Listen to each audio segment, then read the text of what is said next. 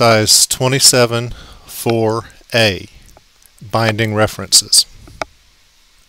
When using XREFs, eventually you're going to run into a problem when you go to send your drawings to your client.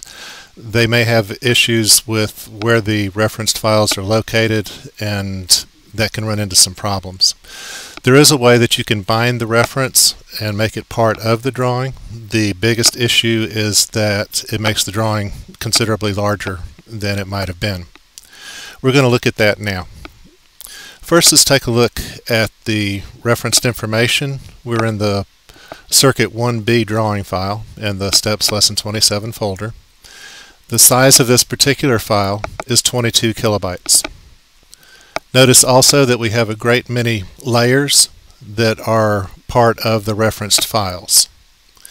Alright, let's right click on the Circuit 1 reference and we're going to bind insert it.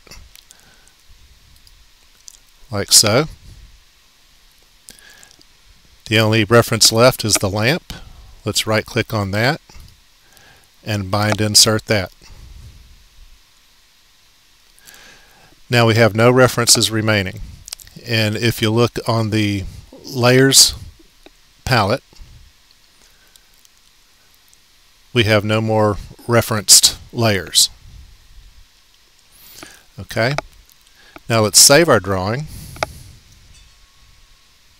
Notice now that our drawing size has almost doubled. This is why you don't want to bind your references until you absolutely have to.